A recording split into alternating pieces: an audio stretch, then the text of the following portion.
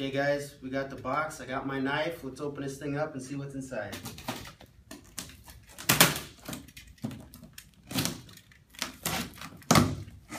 Alright. So let's tip it over because I know this thing's pretty heavy.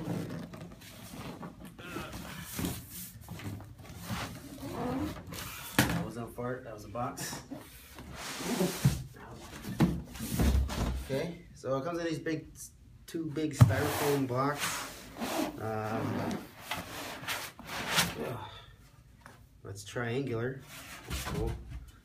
So you can see, it's cool. Let's get the other styrofoam off here.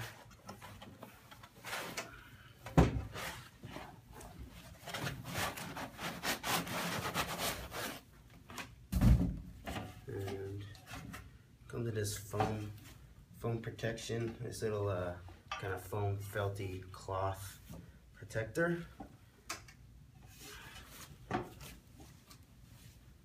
Okay, so right away you can see actually two of these blades have these little rubber feet on them uh, that kind of protect from scratching, so that's cool.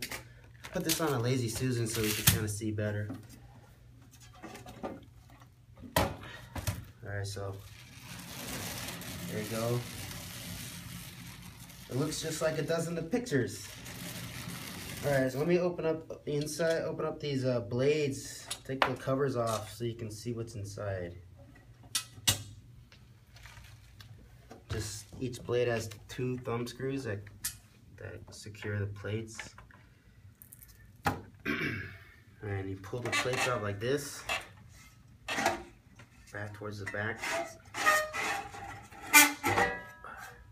These are pretty heavy. I'd say they're about four or five pounds each. Solid steel. Uh, let's rotate it the other way. You can see also it stands by itself. You don't need the feet.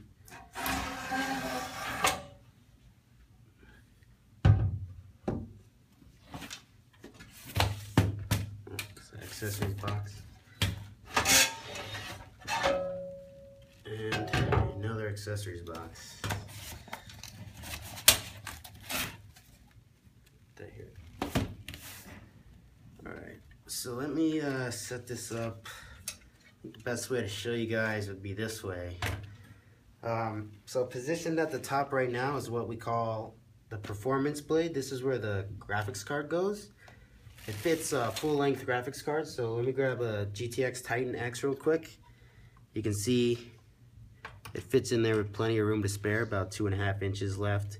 And it has its own dedicated fan there, so that'll really help with cooling of the uh, graphics card. Now also, you'll notice in here is the uh, is a female PCI Express connector. So that connects actually with the rest of the system uh, through this PCI Express ribbon cable that routes through the spine and into this other bay, the other blade I should say. And you can see that the male end of it is right here. And this would line up with where the PCI Express slot of a mini ITX motherboard would be. So you simply install the card and the motherboard and then you just plug that right in to the motherboard and you're hooked up. So uh, real quick, this blade here is obviously for the motherboard and the processor. Uh, it's got room for a mini ITX motherboard, and then in front of that is space for a 120 millimeter liquid cooling radiator and a fan.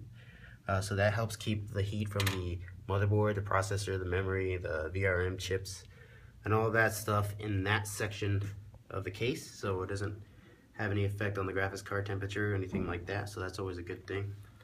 Uh, quickly moving back up to the top, you'll see also in this in this blade there are three pre-wired two and a half inch bays for hard drives or SSDs. So they're kind of in like a hot swappable configuration. You just put them in these trays and you slide it back in and it hooks up.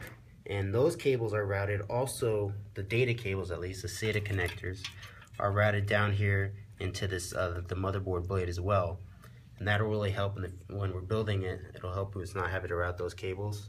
So that's cool. And then finally, let's move over to the other blade that we haven't talked about yet, which is where the power supply goes. The power supply mounts here in the back. It supports uh, full-length ATX power supplies and even longer ones too. Some of the modular ones are longer. Uh, so that's a, a, a good feature. and then also in this blade are two three and a half inch hard drive bays. So for standard uh, spinning drives. And then in the middle here is a space to mount a uh, slot load optical drive. But you don't need to have one with this case. In fact, uh, it comes with a, a faceplate here that doesn't even have a slot. So you can, you can change that out as you want. And you'll also notice in this bay that there are some power connectors here. And those are for those previously mentioned two and a half inch hot swap bays up, up by the graphics card. So it's really helpful that this they've done a lot of work here already uh, that you can instead of having to go through and cable manage everything once you put the system once you put the parts in it's all kind of there already for you so that'll really help later on and uh, so I guess now we're ready to sort of put more stuff in this system and it's gonna be pretty interesting so we'll have that for you soon